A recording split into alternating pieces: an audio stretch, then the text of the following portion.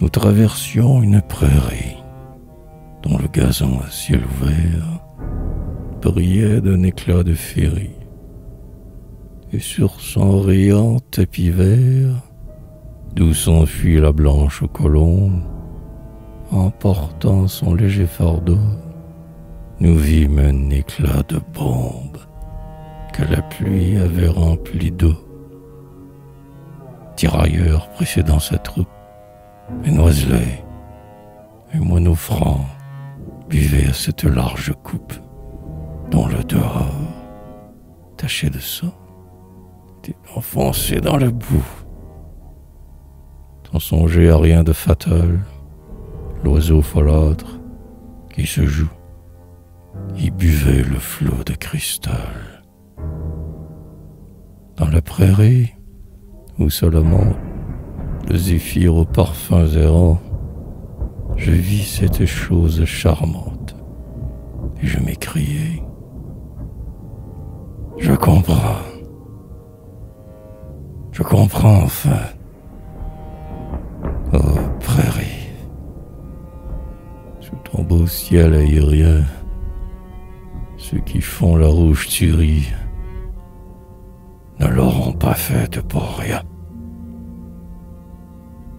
Disais parfois, je l'avoue, pensant ce qui nous est cher. À quoi sert le canon qui trouve toutes ces murailles de chair? À quoi bon tant de meurtrissures Et, sous la mitraille de feu, toutes ces lèvres, des blessures que l'on entend crier vers Dieu.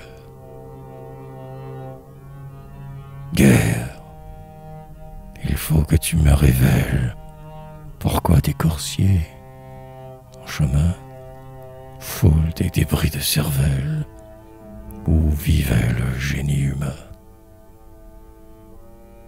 Ouais, je parle ainsi, poète, ayant en souverain mépris la bataille, sinistre fait. Mais à présent, tout compris. Non, ce hideux massacre où l'homme égorge l'homme sans remords n'était pas inutile, en somme, puisque les amas de corps morts, tant de dépouilles méprisées, ces le cadavre cloué à terre, ces têtes brisées, tous ces affreux ventres troués, aboutissent à quelque chose.